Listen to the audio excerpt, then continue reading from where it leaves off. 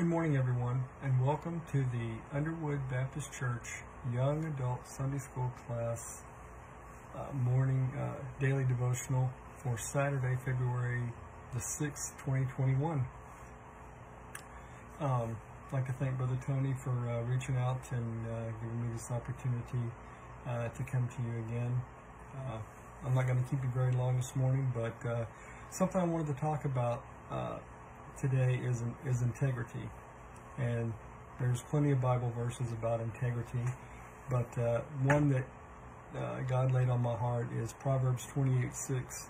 Better is the poor that walketh in uprightness than he that is perverse in his ways, though he be rich. So, uh, there are many worse things than poverty. Uh, and to be a wicked man who does not live in integrity is much worse. Um, this is an encouragement to the poor who are often despised, and, and, it's a sad reality that we have in our world that the poor are despised. Um, you know, one day we may wake up poor, um, and I, I, would hate to be despised just because of my station in life. But we need to remember that upright character is a very important ingredient in anyone's life, but especially a child of God. Um, character is the guard of your reputation, and it's definitely a necessity for success in, uh, in any part of your life. Um, without it, nations, businesses, churches, families, um, they crumble and they fall into moral disarray. But um, important as character is, there's something that's even more important, and that's integrity. Um, and to me, integrity is, is part of your character. It's who you are. Um, and I can't remember if my mom or grandma told me this uh, when I was young, but you know, integrity is what you do when nobody's looking. You know, um, integrity is you know something that um, that not everyone has. Uh, I've I found that out about you know different people uh, throughout my life, but to me, integrity is important. You know, do what you say, um, say what you mean. So, and you know, integrity could be as simple as, um, for example, I, I was at Micro Center.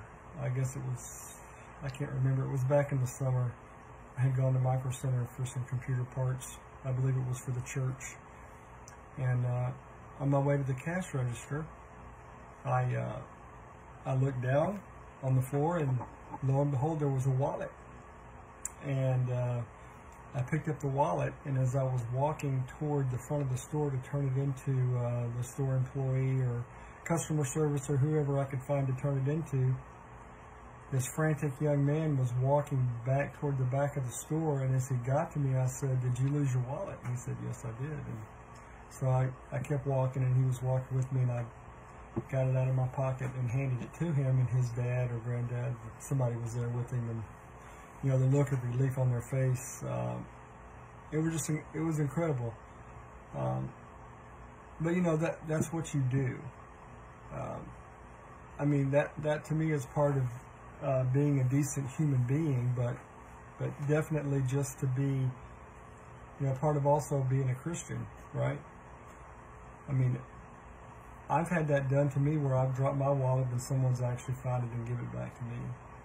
But I know many people who who that has not happened to. Um,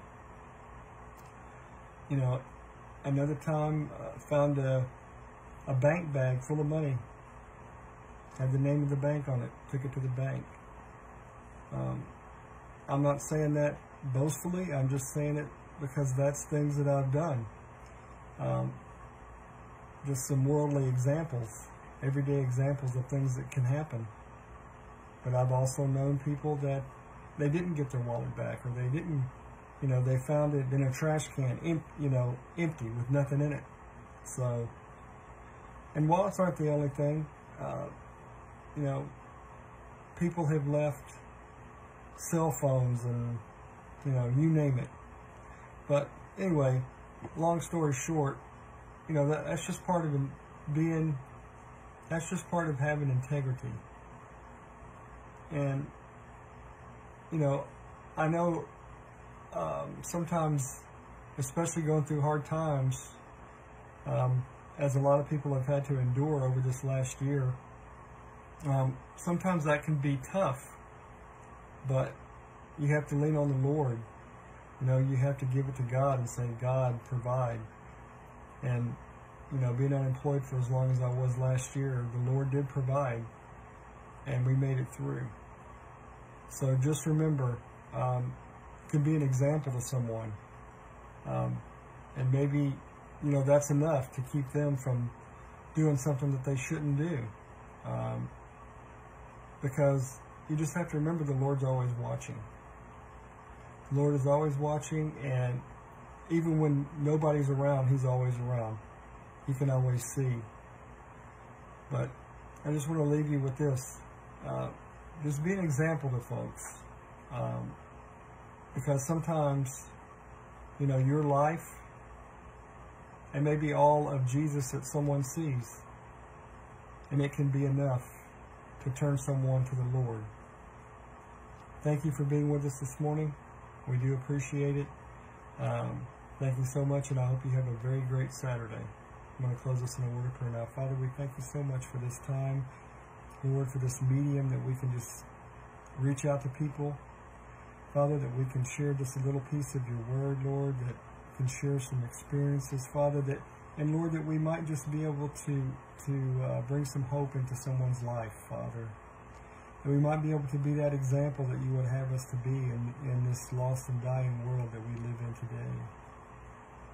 And Father, we thank you for loving us because uh, we don't deserve it. And we love you because you first loved us, Lord. And we just ask that you go with us now, guide us, direct us, Lord, in Jesus' name. Amen. Again, thank you for being with us, and uh, thank you again, Brother Tony. I hope you're having a great time in Florida.